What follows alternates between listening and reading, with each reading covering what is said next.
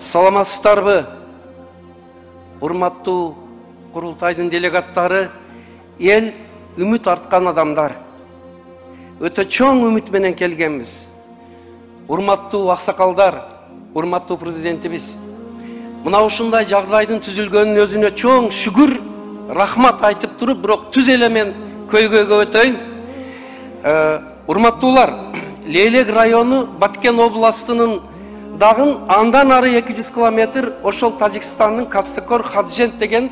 мына ушул залдын бул дубалы кыргызстан болсо ошол аркы дубалга жетпестен тажикстандын границасында турабыз өтө татаал акыбалда мына чындыкта албетте баардык жетекчилерибиз барып көрүп келген мен бирок ошону бир аз курчутуп бир аз заострять этип айткым келет рахмат кам көрүп атабыз коопсуздук башка маселелери миң рахмат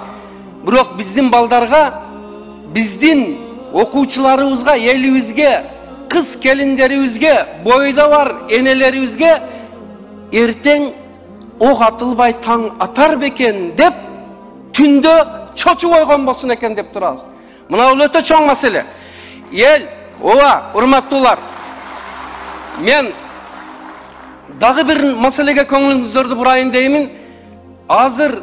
ошончо кам көргөндүгүнө биз ыраазылыкты айтышып шүгүр кылышыбыз керек бирок алла пугачеванын ырда айтмакчы этого мало болуп атат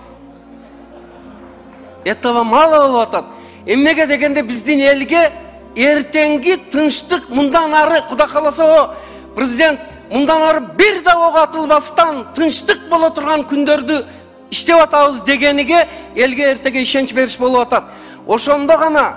баткен лейлектен болгон миграция токтоп мына чүй бул аймак бүт ал жактан миграция эл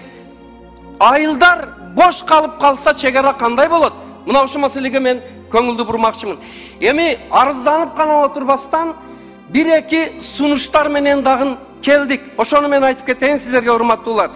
биринчи сунушубуз ошол жерден миграцияны токтотуу үчүн эң сонун мүмкүнчүлүктөр бар жалдырап эле жардамды күтүп отурган эл эмес баткен элек мисалы ошол эле биздин дарыяларыбыздын мүмкүнчүлүктөрү көлдөрүбүздүн мүмкүнчүлүктөрү мына карасаңыздар саркент деген ал жакта айкөл деген козу баглан деген дарыяларыбыздан эгер канал артылып суу сактагычтар курулса он миң гектар жер өздөштүрүлүп миңдеген адам миграция топто токтоп ошол жерде жашап калат чүй баардыгыбыздын чүйүбүз баардыгыбыздын үйүбүз деген адамга рахмат бирок кыргызстан лейлек баткен баардыгы баардыгыбыздын үйүбүз болуш керек ушуга мен чакырам экинчи бир маселе мына миграциянын токтобой жатышынын дагы бир себеби жаштар аялдар жумушсуздук маселеси россиядагы миграцияда жүргөндөрдүн алтымыш жетимиш пайыз баткен лейлектин эли болуп эсептелет мына ошол үчүн биз карап көрдүк ал жерде кварц кум цемент сырье гипс нефть башка кен байлыктарга толтура ошолорду кайра иштетүүчү ишканалардын ачылышы болсо дейм акырында жана президентибиз сүйлөп жатып бир маселени айтты үй бүлөнүн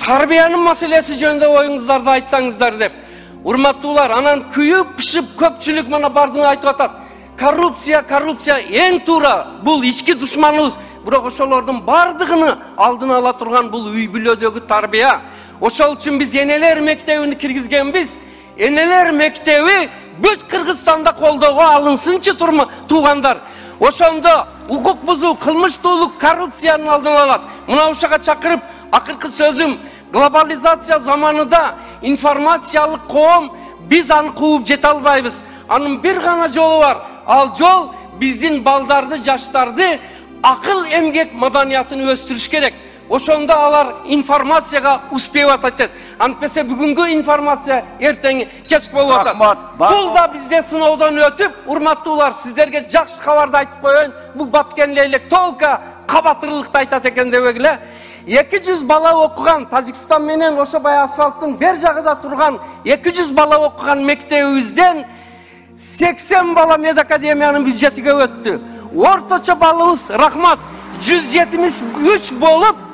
Кыргызстан боюнча биринчи орунду алды. Бизде Секом Нова жок. Ошол жердеги мугалимдердин патриоттук эмгеги менен мына ушул иштер жасалды. Бирок ошондой мектебибиз Тажикстан менен биз жарышабыз эме чек ара ачык убакыта. Улар үч этаждуу президентский лицейден келет. Биздики бир этаждуу мектептен чыгат дүйшөн. Жарышканда биздин балдар жогор. Бар гана суранычыбыз биздин ошол чек арага дагы бир жакшына гимназия мектеп куруп берсеңиздер. Апыреке рахмат. Өтө Ба- маанилүү бардыгыңыздарга тынчтык аманчылык анан жогорку кеңештин рахмат. төрагасы бир минут бир минут ансыз катышкандан деле- пай- баягы